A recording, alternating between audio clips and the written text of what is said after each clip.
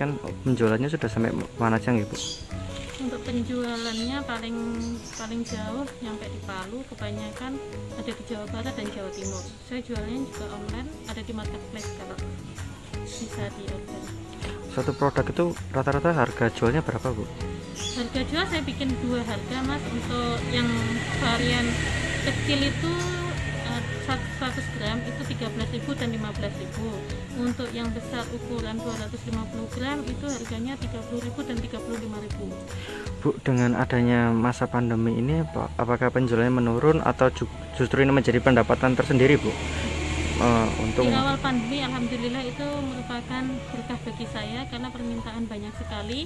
Sampai saya eh, kewalahan ya mas. Sempat kewalahan karena waktu itu di awal jual di awal pembuatan produksi itu pernah mengalami kegagalan sekitar 15 kilo. Nah di situ banyak sekali pesanan yang belum bisa terpenuhi. Akhirnya saya tetap belajar bagaimana biar bisa berhasil dan bisa memenuhi keinginan konsumen.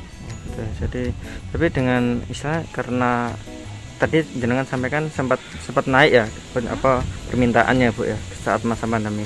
Itu apa karena ada khasiat tersendiri dari ramuan jenengan ini atau seperti apa Bu?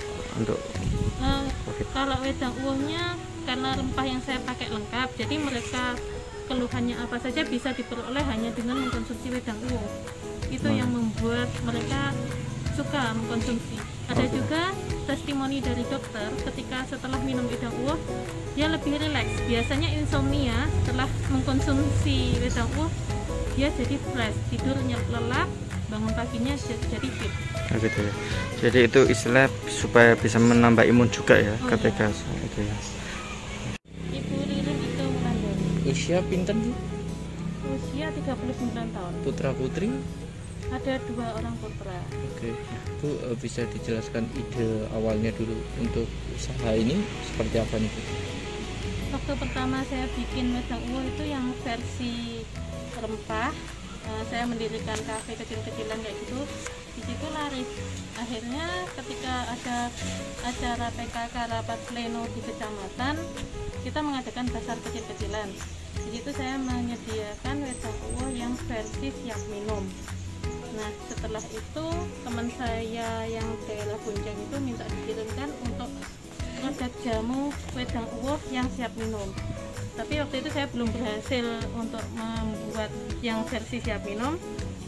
Lalu saya mencoba untuk membuat wedang uwoh versi instan agar bisa memudahkan pengiriman yang jauh. Bu, ide pembuatan wedang uwonya dari mana Bu? Apa jenengan sudah pernah belajar atau seperti apa? Ya mas. Nah di situ saya jatuh cinta. Lalu kemudian saya mencari resep yang pas. Itu bagaimana caranya membuat wedang uwoh yang enak dan masih resep leluhur. Jadi bukan yang sudah dimodifikasi. Saya cari ke mana-mana terus ada adik saya itu yang memberi resep. Jadi mulai kapan ya? Bu, eh, ini kan awalnya wedang uwuh. Kenapa sih terus berimprove berkembang ke jahe dan lain sebagainya? Apakah karena faktor pandemi juga? Nah, uwoh lalu setelah produk saya dikenal, ada yang minta dibuatkan jahe instan, jahe yang dari jahe empret itu mas.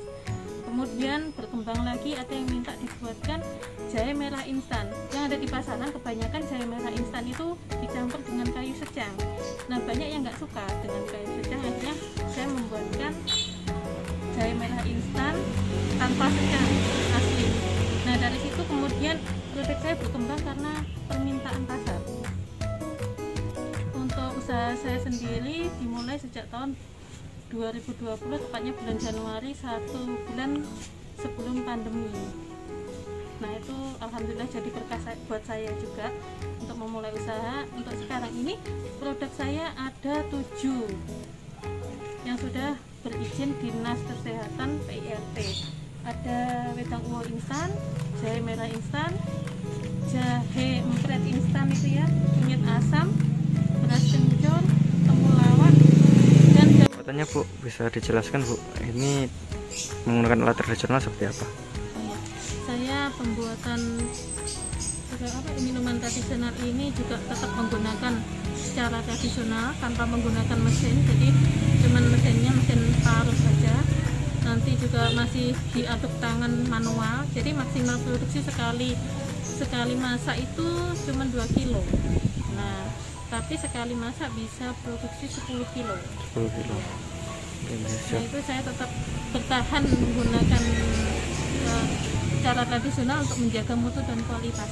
kualitas siap